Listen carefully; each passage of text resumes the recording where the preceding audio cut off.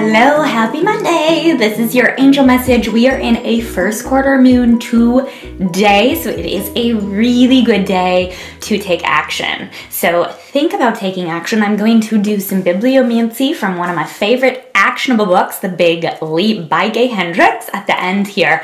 But in the interim, think if you would like position one, two, ooh, or three.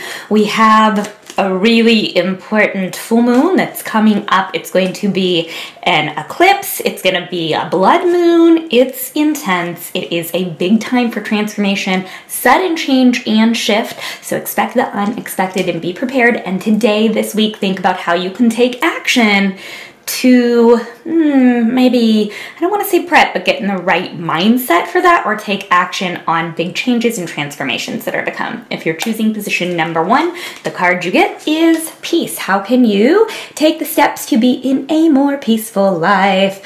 The two doggies are on here on this card, and so whenever I choose this card, um, I like to really be reminded to give them a little bit of love, but this is about calming your spirit and allowing for peace to reign. This is also feng shui wise, it's a really good time to check in and make sure that you have a peaceful space in your home. Now, I'm choosing a support card for each position today because it is a really actionable time. So, these two together, this is the stove card Hey Nana, cook up something delightful, cook up something delicious. And I'm sending extra love to her this week as the anniversary of her husband's transformation is upon us. Pretty timely. So if you're choosing these positions and clean your stove, um, think about what is it that you want to change? What is ready to change? What is ready to shift? And how can you prep your space by being in a really um, peaceful mindset and body? That's a really important action step because you are about to cook up something delightful. What is it? And what's one small action step that you could do this week? If you're choosing position two, you also Get peace. Now you saw me shuffle the deck. I pulled this from the middle. That is wild. So maybe that's why I was guided to do, um, I, I was guided to do two cards and then the top card on this deck is build really, really closely to cook. So we're all cooking up delightful things. Take action on that. But these two together, I would actually say to build a peace altar. So while the first one, what is the major differences between positions one and two? Well, the first one is about actually, it feels really actionable, um, doing things, taking action um, for peace, with peace. This is more of building and it's more silent action. So think about building an altar, still taking action steps to build what it is that you're creating, but doing so in a way that's more visionary, manifesting, understanding that you are capable of creating what you really desire. This is also, it's more of a patient peaceful first moon. So the first position feels a little bit more actionable. The second position, well, yes, you're still building and you're moving towards this future that you really desire, it's also in a little bit slower or patient way. I'm going to choose one more card for that.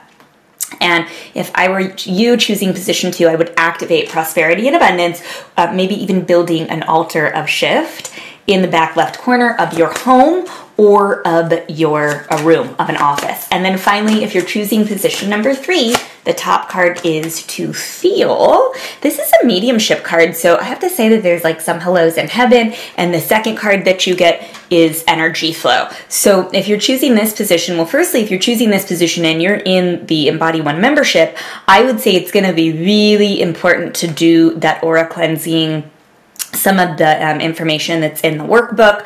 I would also say that it's super important to do the um, ritual for the home this month and feeling into the energy of your space. But these two together, um, as I'm looking at them here, I would say to feel into the truth of your body, to feel into your authentic truth. And I have some shares coming up around that, but feel into your authentic truth where you are really creating each moment, moment to moment living to be um, an experience of what is so right and true for your heart. I actually have a share um, that's an authenticity check in and I'm going to include that link down below so that you can see uh, maybe there's some things there right before this really big shift that's coming where you can, you know, really ensure that you are making decisions that are aligned with your energy flow. So you could check that out. Now, as promised, Bibliomancy from the Big Leap. I just open the book and see what we all would benefit us all to hear, and it is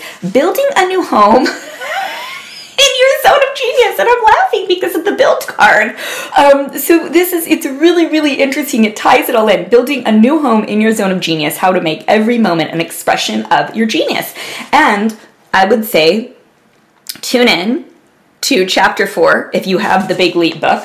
Um, and it talks about this chapter, you discover what is my genius and how can I bring forth my genius in ways that serve others and myself at the same time. And that's what this is, that's what this month is all about with the moon flow. Um, and I will read this final sentence those who have the courage to discover and bring forth their genius break through to unparalleled heights of productivity and life satisfaction. So there we have it, folks. So happy first quarter moon. Be actionable, be in your being in a peaceful way, and may we all be um, taking action steps and leaps at this first quarter moon this week before really big change. Hmm, my earring just fell, so listen to the messages around you and may it be blessed. I'm sending you big love.